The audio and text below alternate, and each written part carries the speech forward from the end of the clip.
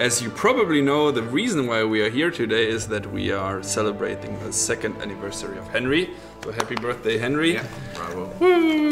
And uh, they are starting a party next door, and I'm sitting here. But that's not a problem for me. But unfortunately, I have those guys are stuck with me here as well, and it's uh, these beautiful gentlemen are the next in my amazing lineup of uh, great people of Warhorse Studios, and I have with me Adam Sporka and Jan Valta. Hi. Uh, responsible for the music. Uh, Jan Valta is the composer, and Adam Sporka something like a musician slash programmer who is uh, responsible for the uh, how if, I forgot the name the Adaptive music. adaptive adaptive music exactly, which means that someone is attacking you in the game, realizes that, and then sh- changes the music so that it responds to what is happening on the stream. Thank you very much for coming. You're welcome. Thanks for It's inviting us uh, it's it was a long day already. As you know, we talked with different people today, and I was asking them about their work, and we will do this uh, again with Adam and Jan. And to support this, we will not play the game. Actually, we will play the concert of Soundtrack Poděbrady in the back mm-hmm. and it's loading. but it doesn't matter, and it will. Let me just maybe I have to crank up the the volume, but it will be there as our nice background melody. It was actually a concert. When did it happen? It was last. It Somewhere in was uh, the beginning of September or end of August 2018. Right. the, let me just see if Yeah. okay, something is coming. That's, that's, good. That's Honza. That's Those Oh, yes. are the good old This days. this yeah. this dude. Oh, Yeah. look at him. How- Ah, no, What guys. a- yes. what Oh, a- no. What a happy toast he is. uh, how did you end up? How did you get here? Actually, how did you hear about the off uh, the, the the project? So it's uh, kind of an old story. Uh, Adam called me, I think, in January 2014, and he said, like, listen, there is this game, and they have they've got you know this Kickstarter uh, support and everything, and I knew what he's talking about because I was, of course, closely watching Kingdom Come from the very beginning because I liked the idea very much, and we both decided that we uh, should try to pitch ourselves as a team of, of two, as a tandem, um, me composing, him doing the technical solution and implementation and we wanted to pitch uh, in the, the Warhorse Studios.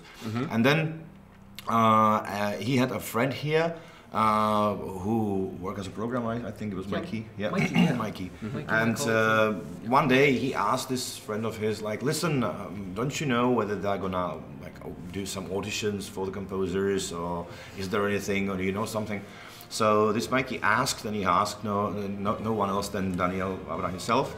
And he came back to us and he said, like, listen, guys, uh, it's, it's bad. You know, Daniel already has somebody. It's probably, I don't know, some friends of him or whatever.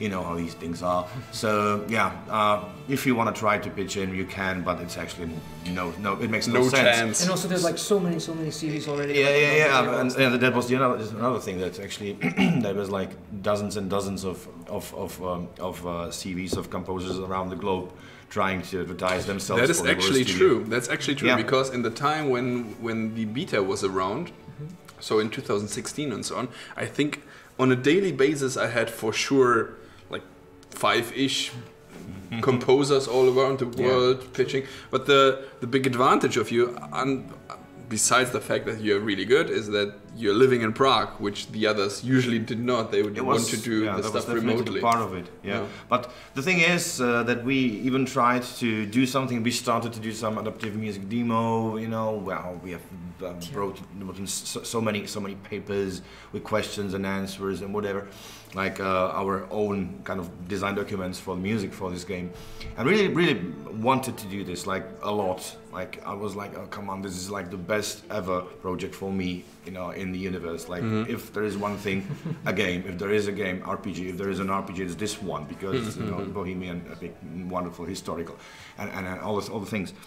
So yeah, when this uh, this uh, friend of of Adam's, uh, when Mikey told us that uh, Daniel already has someone in mind, it was a bit of disappointment. I was like, okay, well, okay, just we gave up. And the next day, I've received an email from uh, Daniel uh, saying like, um, "My name is Daniel Vávra, and I'm working on this game, and I would like you to be the composer for, for, for it." And I, at first, I thought it's like kind of some some prank, you know, some joke or something. And then I realized it's actually for real because there was his phone number, and I called him like within 20 minutes or something. and yeah, so th- this is how, how, how we how we ended up here, and it's thanks to uh, another two things. They happened by accident. Uh, first, uh, Daniel is uh, a big uh, death metal and metal fan, you know, fan of very hard music. And years and years ago, I can't remember, 2005, perhaps 2007, something like that, I co-orchestrated and co-arranged a big concert of uh, Czech metal, legendary metal metal group called Arakain. And Daniel, of course, was aware of this. He saw it and he liked the arrangements very much.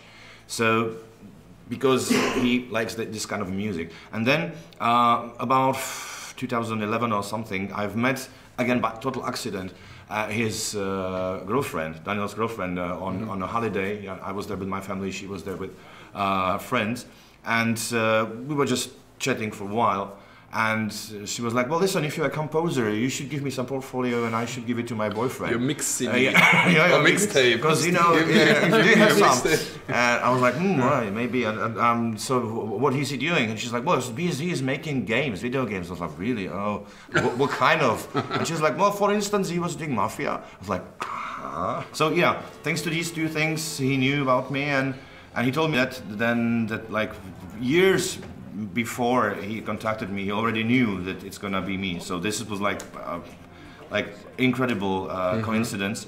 And I instantly told him that I would like to bring in this guy because he has this uh, a, a very very unusual and very specific set of skills, both in musical and techno- technical and technological and scientific, you know, branch. So I said like we should do this together with Adam, and then we can do.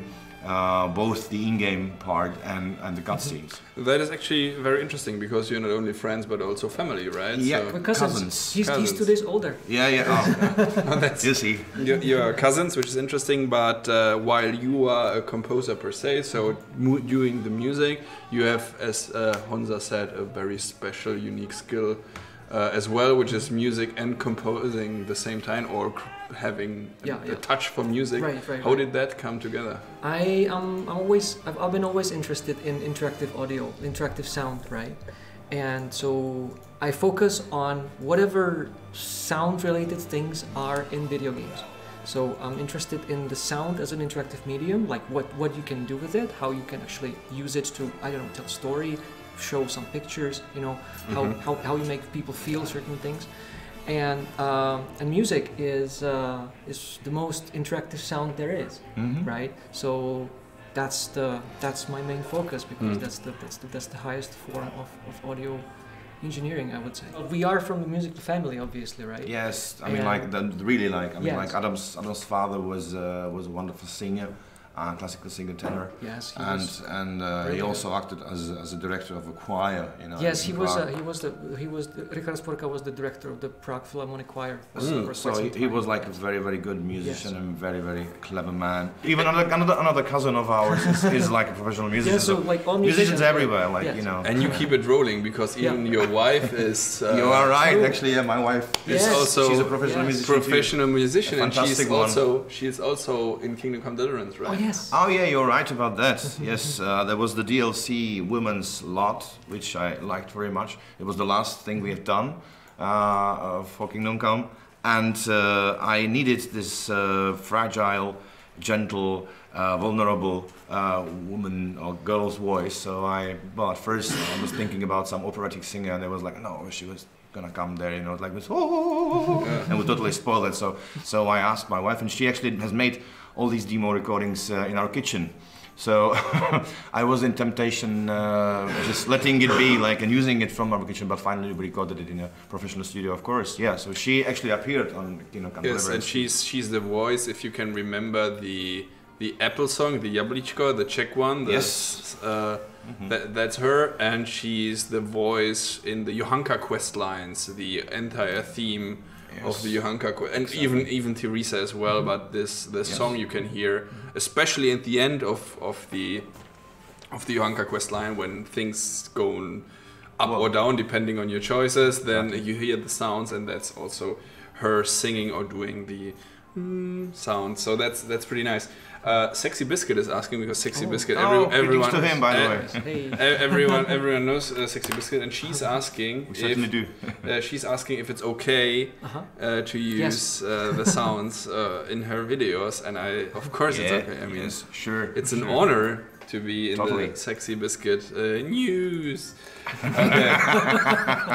Black Bunic is asking. which- Black Bunic is a Oh. great guy, and Oh. he's, Oh, yes. he's uh, doing um, cosplay and, and stuff. And he's asking when Adam, when will you finally upload the uncompressed version of full KCD soundtrack to Bandcamp? Smiley face. Yeah, because Soon. this, Mark. yeah, very very soon. Like we are al- Soon, almost there. almost almost there. there, you know. Soon, Hashtag soon, soon-ish. You had to start from nothing, I guess, right? So you had zero. How how That's did typical, yeah. everything start? I mean, Daniel was approaching you, say, "Listen, Uh, yeah. Jan, you are very good in what you do. I need music." Well, uh, we had a first. Uh, sorry, we had a first like design session solely with Daniel because that was where I told him that uh, I want to do this as team of two together with Adam. And this first meeting it happened over a beer because we are Czechs, of course. It was in some uh, well typical nice pub with a good pilsner. And Daniel actually came in with a very clear uh, vision of what he wants, because that's that's that's so typical of, of him. And he's also very good at explaining and describing uh, uh, what he wants and how he wants But it. But did he sing it for you? Or No, did he do? no, no, no, no, I that- need something like that's the "Da-da," but not too much. I mean, that's the thing because um, yeah, either you can play the music and say like, "This is what I want," but then how can you play music which doesn't exist yet? Or you can uh, describe it somehow with your words, but the words can't describe music much easily. So it's actually very complicated. So either you're a professional musician and you use these terms we have to describe things and, and, and happenings know, and situations in, in uh, and states, how, how to put it, in, in the game, uh, in the game, in the, mu- in, in the music, or you don't. And if you don't, then typically people fail to to explain what they want, how they want it. But Daniel somehow always manages it. Like you know, he uses like five or six words, and I exactly know what to do, or Adam exactly knows what to do. This is like uh, it's it's it's actually quite ex- extraordinary, and it's one of one of its many ad- advantages. And also, he loves music. He loves working with music in in uh, his games.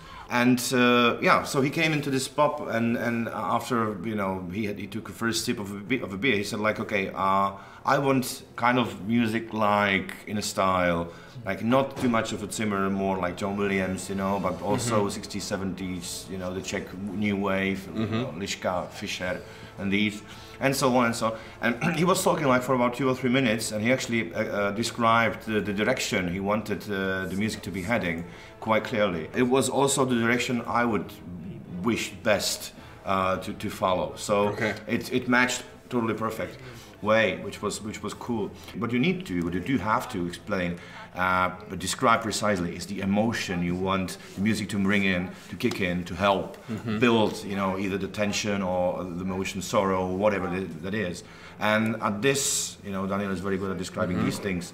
So while while you were more outside the office than inside the office, for you it was the other way around. So For how did other way your around. Yes. So what what's what's your part on the Right. music? What's what's the connection to the Right, game, right, and uh, what did you do in so, the past two uh, years? while we were working on this on this uh, pitch, we this pitch exercise, so to say, Mm-hmm. um, we created this virtual Kingdom Come Deliverance level, which we called Vohlomyšlice. Yeah, that was something. Vohlomyšlice was uh, It means was, nothing in Czech. Yeah, it doesn't- it doesn't mean anything, Not, right? not It's just, uh, other you know, language, it's- but you It know. sounds a little bit like like Skalitz, so it will be probably Yeah. like like like Vohlo- Vohlomyšlice or, or Vohlo- Vohlo- something like that, you know, Vohlomyšlice. It doesn't exist, you know, on, on the map or anything like that, but did you check it if it's existing or Um, not? It doesn't exist. doesn't we exist. Are checked. you yeah, sure? yeah, Not yeah. even in Poland or somewhere?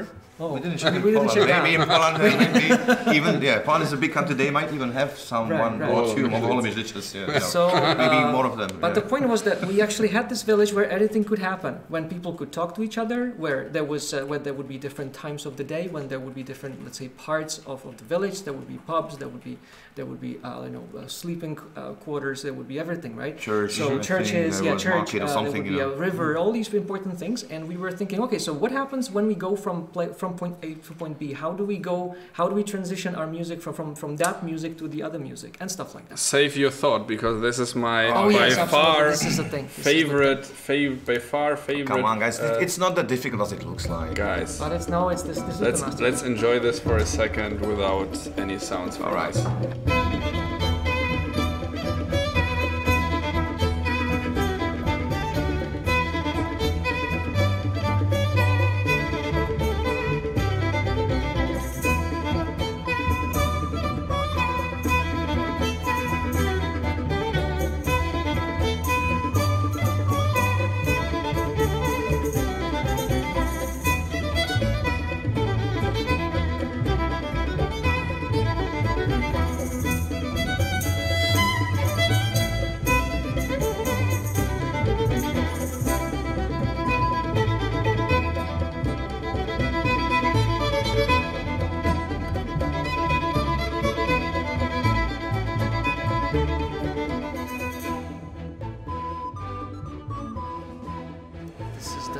Definitely yes. Uh, as you just said, what I thought. This is by far one of my favorite. And and, and that's interesting part. Not not necessarily in the game, but when I was seeing it live, and with your energy, which you, because you you're sprawling of energy there. It's like you're you're one with the violin there.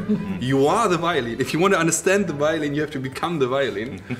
and uh, having you standing there playing it, that was like that was right in the right in the field. That that was amazing. if, if you have a, a live concert, you need to, you know, think about many things, such as like you should serve the fans, the biggest fans. That's why, for instance, the well, it's it's on the very end of the video. It's it's the opening music which always plays when the build starts in the game because I was like, this is the gift for the gamers, for our fans, for everybody.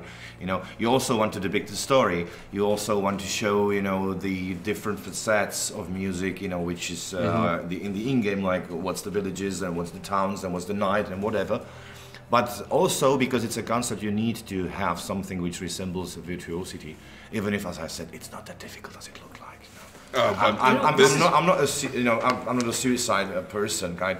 So uh, I just, uh, you know, I composed it the way I will be able to play it. I bet I bet Cristiano Ronaldo also says it's not that difficult to shoot. You know, to- Well, I think- interesting comparison. But that's Thank you very much. that's what that's what makes uh, music in a concert really really super interesting when, when people you know when you have when you leave enough clues Hmm. for the people to understand that it's good Yeah, you're right. You're right. because I have seen I have seen many very very let's say complicated performances right hmm. and but which were super super complicated and super super complex but you don't really don't know like what is the like when, when you have some some some novel musical instruments right there is no connection between the actual let's say what how the instrument looks like what the person does on the stage and what you actually hear because you cannot really read that. There, there's no there's no clear there's no mm-hmm. clear mm-hmm. this, like link between what, what, what, what is what you can hear and what you can see. Mm. And when you have when you are making game audio things i, I found out well it's- I, this was not me finding mm. that out. It's the, Yeah.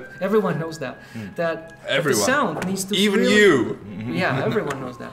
So, so uh, it's really important that the sound closely follows what's in the picture mm-hmm. and Yeah. gives you something else, but which is connected to the picture, but gives you some additional. Is that like the, quality there. the, the frightening violin in horror movies? Like, "Eh, eh, eh, eh, eh, eh," you say, oh god, something yeah. is happening in a second. Music essentially builds up. You, you essentially build up a language, right, for your for your title somehow, for your for your game, and then you you teach the language to your to, to your to, to, your listener, right, and then you start using that language in order to communicate. I, re- I repeat the same uh, theme in, in the same style and the, the same the same uh, voice, the same uh, voice soprano, but with of course with completely different accompaniment and different feeling in it, different emotion. So this is what Adam actually described. right? Like, like yes, you, you actually define your own language, you define things you uh, want to do uh, in your own soundtrack, and then you can start using it, you know, and, and actually build the dramaturgical things on it. But on the technical level, I was I was then talking to to scripters to understand how game can signal our adaptive music engine that we have developed with with with, with Honza and how how the game can actually communicate different and important states like variables like time of the day, uh, health of Henry, you know all these kinds of things, right? So Mhm. um, and then so that our engine could actually respond to all these things, right? Yes. And there were many there were many things which uh, we were able to do and some things which we, we, we were not able to do. Uh, for example, how to how to make sure that uh, the combat music starts exactly when, when the combat starts in the Yes. game because there's you know so what which means like what defines a combat in our game? Is it is it when you have the have the cross there or is it like some some other other technical state of the of the, of the stuff? So it really was like this kind of a technical thing. And then I uh, I was I, I had to make sure that that the that the game that the music from the game is going to be uh, like edited properly and Mhm. timed properly. Actually, no, you know, if, if you are uh, in a well, if you are around the Sarsona story that has Yeah. its own themes and it's symphonic one, but if you are inside in the I'm not sure if this is the English word. I didn't check. It's clausura, closed area. You know, uh, rest- restricted for, for the monks only. Uh, the Gregorian chant you hear there. It's it's it, Oh, it's yeah. it's a proper Gregorian chant with Yes. all the rules and Yep, everything. yep, yep. But it was composed by this uh, guy in Gregorian 2016 or something. Yes, so it's 21st century Gregorian chant, but with all the standards I love that it has to have. You know, then there are these two now. I would say of, of like fo- folk songs. Yes. Even they they, they they they happen to you know become Right. uh, folk songs. We have been told that people really listen, uh, just just playing these and, and singing these, you know, around the fire, you know, when Yeah, the I summer heard this comes, as you know, well. Yeah, drinking yeah, a beer and playing guitar, you know, and just like singing these these songs, uh, Um, which which are uncomposed. and also cool. I have two. Well, I have one one particular one particular uh, uh, Easter egg in the game. Essentially, when uh, monks are singing long enough, once every every hour or something like that, they would they would sing Lorem Ipsum. Oh, that's the yeah. That's this. um, uh, There's a this- typographic, uh, Yes, yes, yes. nothing, Yes, this- nothing saying just to yeah to, to see how it will print out. What are your inspirations from this area? Well, yeah. Are there any inspiration from Well, there? the, f- the, particularly from this area, there is very, very limited. Uh, there's almost no uh, written music. I mean, yes, there are lyrics very Mhm. often, sometimes with tiny uh, hints of notation, but definitely not like full melodies. And we Mhm. also don't know what kind of, well, you know, like like accompaniment was there. So we can only guess from Mhm. historians. They, they they say us what kind of instruments existed already at the beginning of the 15th century. So from that you can start, and then it's more like deconstructing, you know, the first knowing uh, or known music, which is probably like the, early Renaissance. This is something we already like know this is better. this Yeah. the Renaissance music actually what we believe is medieval music when we- Exactly, when we, yeah. it, right? Which is actually this. yeah, actually, you, you spoiled our solution, but that's, that's Oh, fine. sorry. It's, it's, it's okay. It's okay. Uh, at first, we were thinking like what we were gonna do, and I was like, okay, we have to deconstruct the, the early Re- Renaissance music maybe somehow, and you know, strip it of, of, of all the you know novelties they appeared uh, and so on. But then I realized, actually, you know. Uh, everything in this game is realistic, as realistic as you can uh, have in a game, in order still to make it fun enough to play, of course, Mhm. because because that's that's higher than, than, than the realism. You know, The- the- it has to be fun, it has to be Yeah, of course. interesting, it has to be a good thing to do. And that's, by the way, a very often question from journalists and other people: how often we sacrificed fun for reason for realism, and I don't think we ever did that. Like would said, say never. Oh, that would be the funnier, the better thing, but we rather keep it the other way. so- Yes, it must be must be Yeah. must be It must- entertaining. You know, it yeah. must be adventurous. It must be an experience for the player. If it doesn't, And in the uh, end, it's just no one big compromise. Anyway, If, if somebody wants to transcribe it, you know, in, into sheet music and put it somewhere like. To me, I don't give a shit. I mean, like, I'm, I'm absolutely happy with it and just do whatever you want with it. Uh, of course, you can't sell it, we probably know that. But if it's just for your own purpose, you know, to play it somewhere, in, absolutely yes. In other words, if And you if want give to it use somewhere. it, yeah, if you want to use it for your channels or whatever, I think Yes, we're totally, more, more than happy. Also, there is this guy. His name is Random Innkeeper. Oh, yeah. And Oh, yes. yeah, he he. Uh, if if you haven't checked this, I mean, like, I love it. I'm I'm. Uh, Random innkeeper is Yeah. amazing. yeah, I'm, I'm uh, I, I don't get his jingle together again. Cooking, cooking medieval dishes in a modern way, something, something like that. like that. Uh, we love cooking, so if there is our music and the cooking, that's a fantastic combination. I I have like, to say I like love eating it. more than cooking, but Yeah. yes, but that's just an detail. okay, well, The perfect combination again. You cook, he eats. The funny thing is, if you listen closely to the background music playing there, oh, uh, the, the back, not music, chatter, the background chatter, it's actually us or, well, the team.